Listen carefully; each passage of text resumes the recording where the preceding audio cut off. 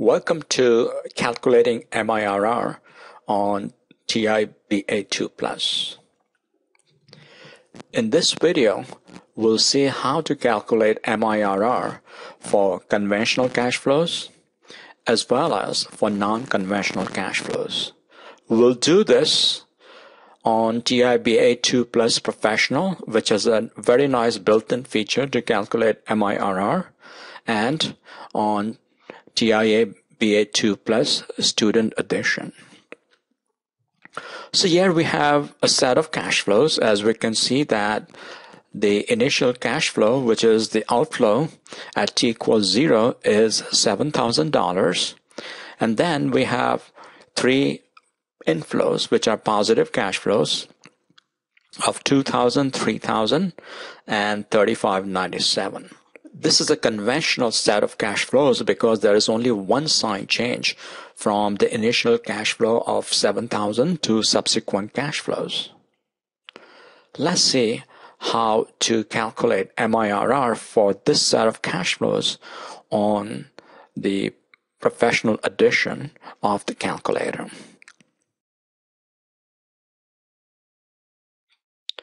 Our first step is to clear the cash flow worksheet.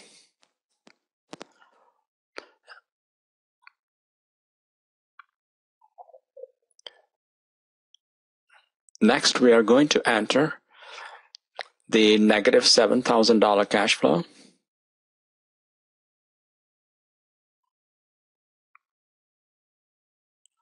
We'll now enter the $2,000 cash flow.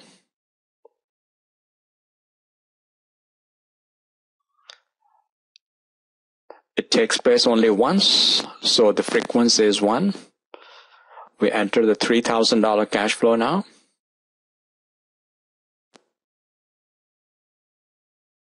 Again, it takes place only once. Finally, we enter the $3,597, taking place only once. We then press the IRR key and we get the IRR as 10%. Press the down arrow key. The reinvestment rate is 12%. And we calculate the MIRR to be 10.58%.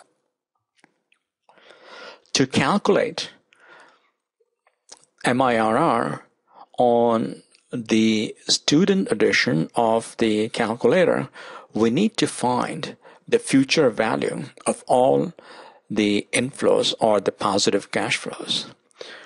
So here we are going to find the future value of 2000. We're then going to find the future value of 3000 and of course, the future value of 3597 at t equals 3 is 3597. And we are going to add all the future values. So here we have the three future values and we add them all up and they come out to 95, 60, 9465.80. The next step is to set up our calculator such that n equals 3 because we have three time periods Present value is the initial cash flow of uh, 7,000, which is the outflow. And the future value is going to be the sum of all the future values that we calculated, 9465.80. Let's see how to do this on the calculator now. We first cleared the time value of money worksheet. We now enter n equals 3. We set present value equals negative 7000.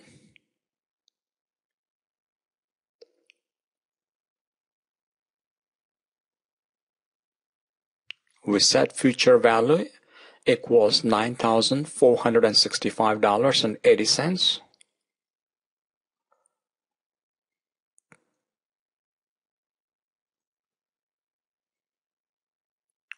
and we calculate I slash Y or the MIRR. Next, we have non-conventional set of cash flows.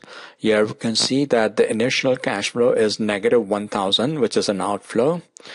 The cash flow at t equals 1 is positive 6300. So we have one sign change from negative 1000 to positive 6300.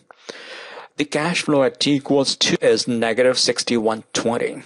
So we have a second sign change from 6300 positive to negative 6120. So there are two sign changes and this is a non-conventional cash flows. As you already probably know, there, there is a possibility that there are two IRRs in this type of scenario when there are two sign changes. We are first going to clear the cash flow worksheet. We're going to enter negative 1000 as our initial cash flow.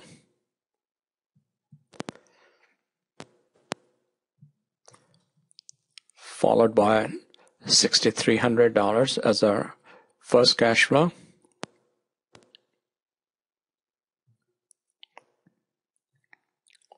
And negative 6,120 as our cash flow at t equals 2.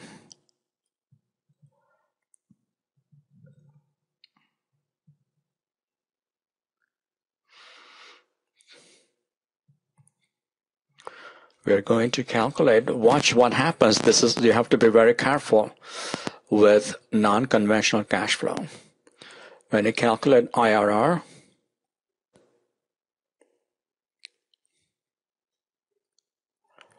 we get IRR, but watch uh, what happens when you calculate MIRR.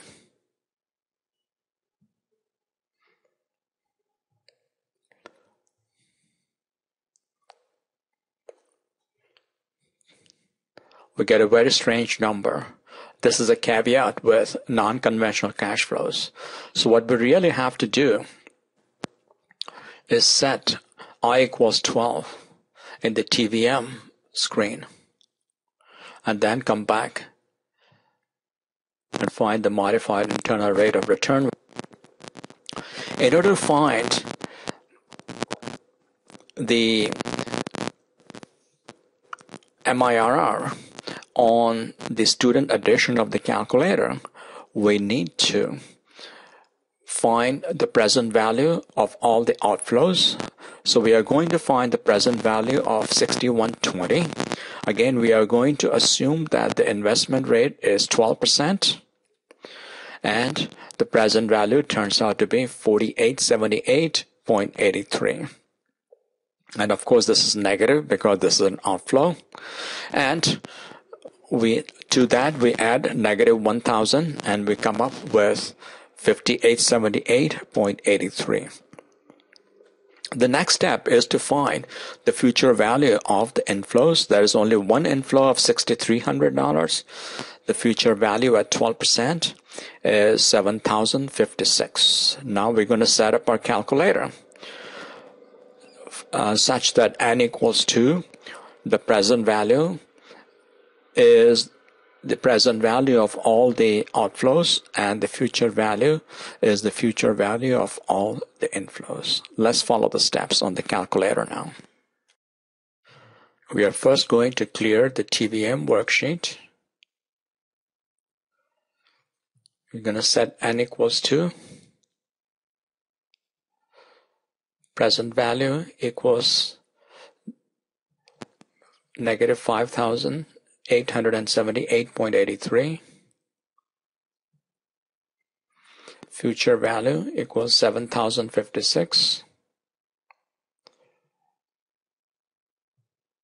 and we'll calculate I slash Y or the MIRR 9.56 Thanks for watching this video. I hope you found it helpful.